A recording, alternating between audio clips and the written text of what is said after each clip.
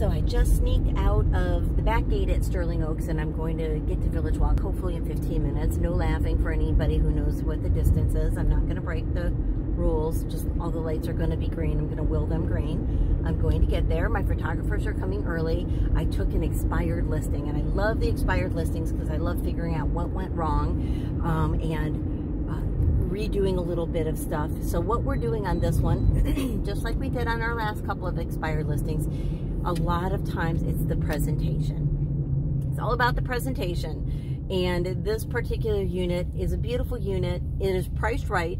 It is even offered furnished.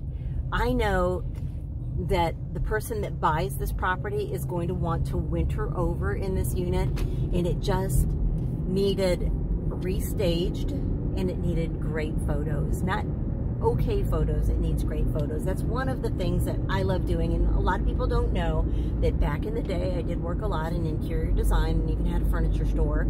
Uh, so I love going in and deconstructing what people have and reconstructing it so that we create a photo, a vision of the possibilities of a home. And sometimes that means uh, minimizing what's there or removing a lot of what's there. And sometimes that means just embellishing what uh, what is left for us to work with. And sometimes they are vacant and there's not a thing in there, not a towel or anything. So, um, and it's not necessarily filling a home with furniture. Sometimes it's just making it feel like it has not been abandoned. Um, so I'm on my way to Village Walk. We'll have a new townhome coming out of the market really soon with some great photos. And um, I don't have permission from the last agent to publish their photos so you can see before and afters.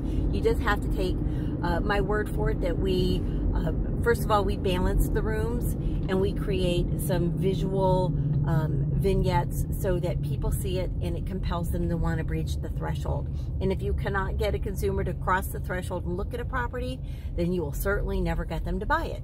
So tag along. Um, hopefully I can link together a couple of these posts and somewhere down the road you'll be able to see this video with the finished product.